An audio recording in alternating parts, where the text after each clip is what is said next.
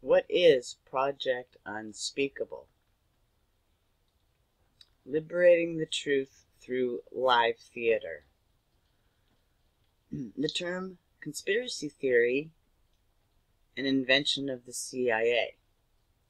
From the Reverend Douglas Wilson, member of the core group of Project Unspeakable.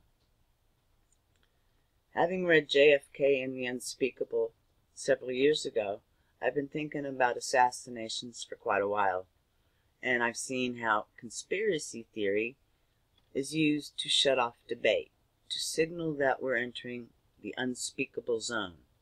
So I began to wonder if the if the use of the term conspiracy theory might be a conspiracy itself. That's an interesting idea. So I went exploring, and surprise, surprise, there is a 1967 CIA memo that puts forward a great many of the commonly heard rebuttals to the Warren Commission report. The CIA owned over 250 media outlets in the 1960s, spent close to a billion dollars in today's dollars, spreading information, and had people doing its bidding in every major city in the world so it's not surprising that they were able to disseminate this idea. The issue, and the issue is contemporary too, it's just not just historical.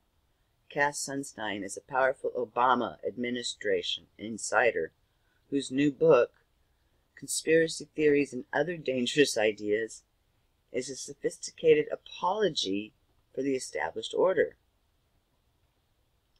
The last of this series of articles is the CIA 1967 memo itself. CIA document 1035-960 Foundation of a Weaponized Term. From Memory Hole.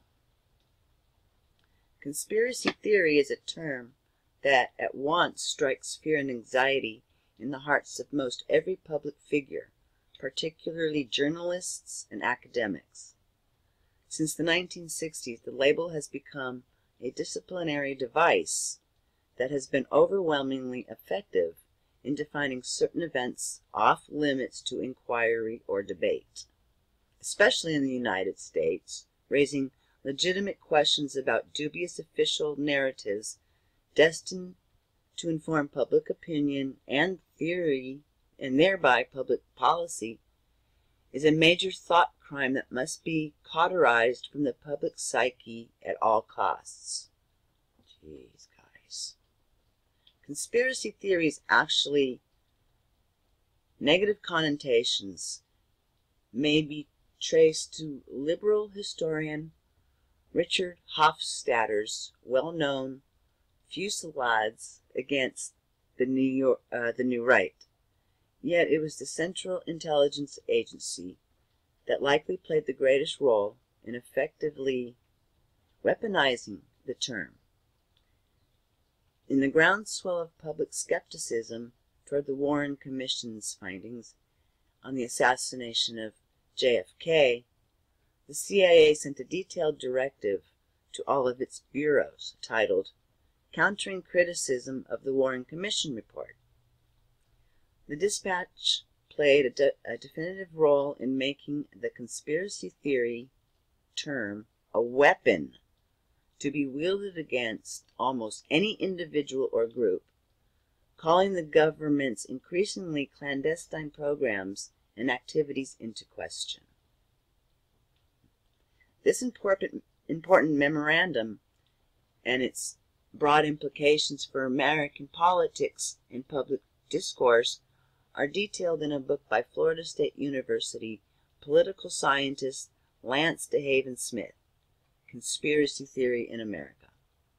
Dr. DeHaven Smith devised the state crimes against democracy concept to interpret and explain potential government complicity in such events as Gulf of Tonkin incident, the major political assassinations of 1960s, and 9-11. CIA document 1035-960 was released in response to the 1976 FOIA request by the New York Times. The directive is especially significant because it outlines the CIA's concern regarding the whole reputation of the American government vis-a-vis the Warren Commission report. The agency was especially interested in maintaining its own image and role as it contributed information to the Warren investigation.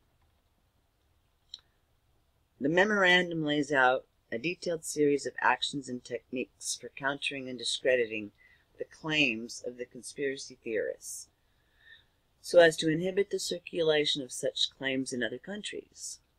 For example, approaching friendly elite contact, contacts, especially politicians or edit and editors, to remind them of the Warren Commission's integrity and soundness should be prioritized. He charged, the charges of the critics are without serious foundation.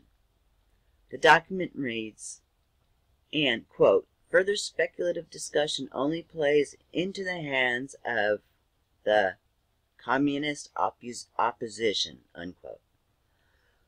Pardon me.